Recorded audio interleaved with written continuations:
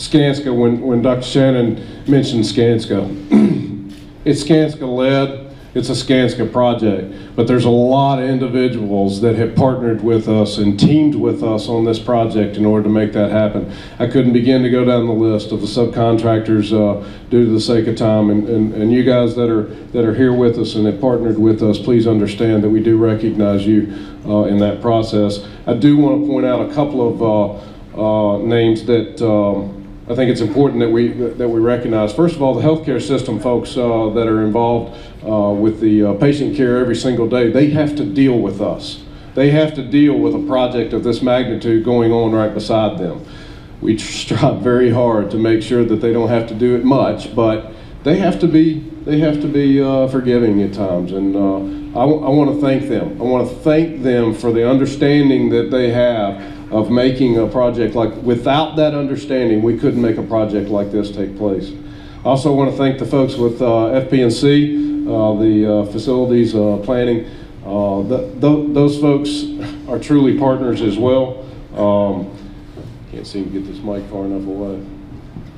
Um, and so I, I, I really want to uh, take a moment to thank them. And then our partners in the uh, overall design of this uh, project, uh, Perkins and Will leading with Walter P. Moore, with uh, BR Plus A. Uh, there, there are so many along with this project that, that have partnered with us, truly partnered with us to make this a great success.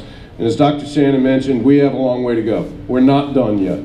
Uh, this is this is an opportunity for us to, to step back and look at the strong progress that's been done and to celebrate the work that's gone into place at this point. But I, I, I look forward to the future, the very near future, but the future when we're ready to open the doors of this building. This building that, yes, we're putting sweat and tears into right now, but it will give life-giving care for many, many years to come. I've built a lot of things in my career, but building hospitals has a legacy that leaves behind it like no other thing. And this is, this is just an amazing opportunity for everyone here. Here in just a moment, we are going to uh, lift the beams, uh, the uh, topping out beams that everyone has, uh, has signed. I do want to take a very special opportunity. The steel and uh, the iron that uh, is the main structure of this building. Um, Walter P. Moore as the engineers of the design of that.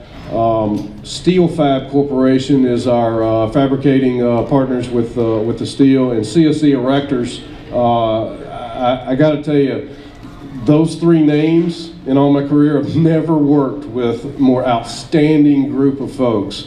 Uh, they've done an amazing job. Words cannot describe how well they've done. And so some folks from CSC are going to be stepping out and helping us with uh, the rigging of the beam out here. Uh, I will invite you, if you would like to uh, watch it from outside, you'll notice that we have some caution tape put up on either side. I'm going to ask you to step through these openings and be behind that caution tape on the left and the right of the beams if you want to observe from there. Uh, those of you that want to take some photos, uh, you probably will want to uh, be here front and center at this, this location here. But for the masses of you, if you'd like to step uh, out above there, uh, workers that have PPE, you're welcome to step up to the third floor up above us. I would ask you to stay clear, obviously, just like we do every day of the steel when it flies over.